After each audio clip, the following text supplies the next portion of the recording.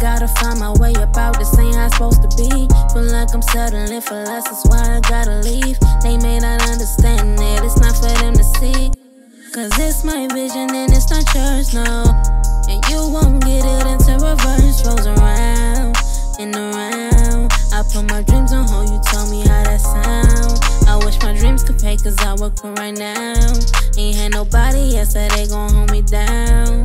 While I chase these dreams and know my goals. Chase these dreams and know my Hi everybody, this is Let's Vamonos and we have our second guest today who is Anna Crain and we are excited to talk with her today. She is a licensed uh, counselor, correct? Yes. And we are joined to get today to talk together about mental health and also inclusivity and of course Pride Month, right? And we're going to talk a little bit about some of the the other side of the, those dynamics and especially regarding mental health and our community. So yeah. thank you so much Anna for, for being here and joining me and talking and supporting and being open and all those things, right? About yeah. for, for Pride Month. We really want to make this uh, exciting month for people to educate themselves about it. So let's let's get a little background though first before we get started. So I actually found you through Contigo Flower Therapy. Yes. So tell us a little bit how you started that. Or, yes. Or what that is exactly. Yeah, so I started Contigo actually in 2018, which is so crazy because that feels so long ago now.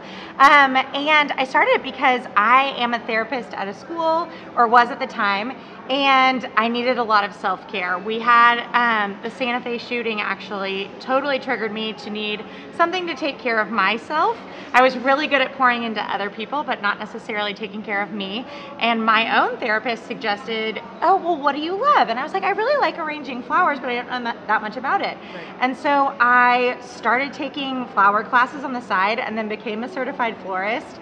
And I was like, Wait, I love flowers and I love mental health and I like deeply believe that flowers and mental health have the power to heal and connect people and celebrate people and that was kind of how it all got started. So that's kind of why I created my Instagram account and to spread mental health tips and tricks but also just a joy of beautiful things and love and happiness on the internet. Yes, and that's one of the things that drew me to you specifically is how you incorporated that the flowers are beautiful the pay all the things that you do and just Thank just kind of putting your your whole um, what is it all of your knowledge into that. And Thank you. there's so many uh, so i am personally a big supporter of mental health. I have my own counselor i have my own like therapy sessions.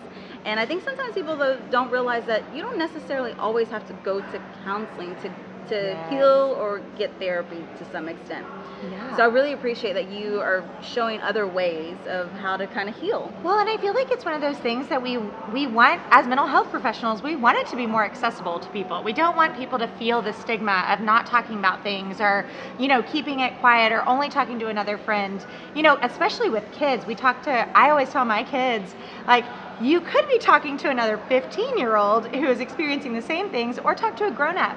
So it's not only about talking how to talk to your kids, but also how to manage things on your own and also how to be a safe, trusted adult for kids and all because a lot of our kids aren't talking to people and we want them to. And even thinking about Pride Month, like we want our adults to be safe for our kids because you know even if you don't identify the same way you can still be an open safe loving place for another person. Right a supporter right? Yeah absolutely i think so there's so much of this stigma of that if you are just because you're not a part of the community doesn't mean you don't can't support the community right? Right. So i you shared a really awesome reel yes. about those words and things that, that are no longer, you know, I, we identify as safe words for the pride community or for the LGBTQIA yes, community. Absolutely. So let's talk a little bit about how we can have these conversations a little bit more open, but not so like I guess like what is back in the day, like the 19. Well, and it is. I mean, and it's. I feel like even talking to my parents or certain parents that I work with, because um, I work with their kids, they'll say like, well, that's just, I thought that that's the word that you're supposed to use, or I think that I'm not, I'm not really sure if I believe in that, or that doesn't really align with my values. And that's real. And I think that that's something that it's okay to acknowledge like this might be a hard conversation for you, but just because you don't identify that way doesn't mean you can't love them. And so, what I always say is educate yourself and don't be defensive if somebody corrects you. That's really hard. Um, because we always want to be right. Yeah, because we always want to be right. But it's okay to say, hey, I don't know, teach me.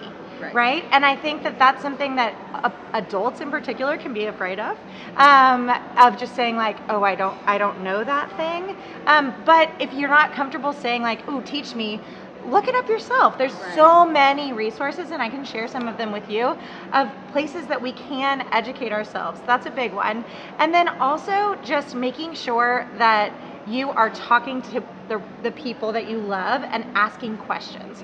Not just assuming that you know everything, mm-hmm. um, assuming the best in other people and assuming that they want to talk to you and they want you to be an open space. Because if someone's shared something with you, that means that they trust you. Right. So yeah. lean into that trust yeah. and make sure that that's that's what you're really and, and there's celebrating. You have you bring up so many good points because I think one like I said, we tend to don't want to be wrong. Yes. And two, we also have there's also this other half of well, we know everything. Oh yeah. oh my gosh, yes. I always feel like I always I I work mostly with kids and I always tell my kids like I know your grown-ups are going to feel like they know everything and it's your responsibility sometimes to make sure they get better. There's a lot of times that we have to make sure that we're helping kids get better, but also like we have to educate ourselves and kids can help us get better too. Yeah. Or other people, people that we love. One of the things I also wanted to talk a little bit about, uh, not too much because it, it is it is a really still I think raw topic yeah. is the topic of the mass shooting yeah. that happened earlier, um, excuse me, uh, late uh, May. Yeah. And you know the tra- when in tragic times we tend to some some of us just don't know what how to what to do what yeah. right the right words to say yeah. whether it's to our children whether it's to the the people in charge as well right yeah. the people like you know the schools the all of those people that are our leaders in our community any words of advice as far as especially for to tell our kids especially yeah absolutely i think First of all, just affirming that they're safe, right? I heard you talking earlier about safety and how that's so important. And it is. I feel like it's so important to make sure our kids know they're safe with us, they're safe at school, they are safe, um, and that they are safe in general when we prepare in certain ways. So, talking to them about what does it look like? What does it feel like for them when they're yeah. safe? Asking that question, right? Because sometimes they'll say, Oh, I feel safe with you, or I feel safe with this teacher, or yeah. I, I feel safe with you know, my friends or, uh, you know, some sometimes we call it a transitional op- object in therapy, but in, in, in mental health. But basically, like if they have something with them that's from you. So asking like, do what do you feel better if you take something with you all the time that reminds you of me, like a bracelet or a necklace or something like that, or you know, just something that they can have with them at all times. So that's a big thing. Just like talking about what safety feels like for them because it is scary and this is scary for the adults and i think that that's something that's really hard and we have to be careful of is making sure we're not talking all the time about how scary it is or blaming people right. um, because that's really easy to do when we're living in fear right. um, but being aware of the way we talk about you know tragedy in front of our kids yeah. and making sure we can be honest and open and say like this scares me and it should be scary, but you're okay. And I'm going to fight to make sure you're okay. Well, I'm really glad we had you on because yeah. one, you know, Let's Vamonos is about advocating for the community. So Absolutely. you are definitely an advocate for the community in all shapes and forms and ways. So I really appreciate that Thank you, because yeah. that is what I love to do as well as advocate for the community. The other reason I love to love that we have you on is because you're inspiring other people as you. well to be open and to not be afraid to educate themselves to support others, and I really appreciate that as well. So, thank you so much. Yes, thank you for having me. Yes. It was so much fun. So, if we want to support you and con- or contact you in any shape or form, how can we do so? Yes, so you can reach out on Contigo Flower Therapy on Instagram, and that's also my Gmail account, and it's also my website. So, Contigo Flower Therapy is really it. It'll get you to me. Awesome, awesome. Yes, thank but you. thank you so much, and as always, guys, thank y'all for the love and support, and let's vamonos. Bye. Bye. Don't forget to subscribe so you don't miss our next episode. Thank you to our sponsors for all the love and support.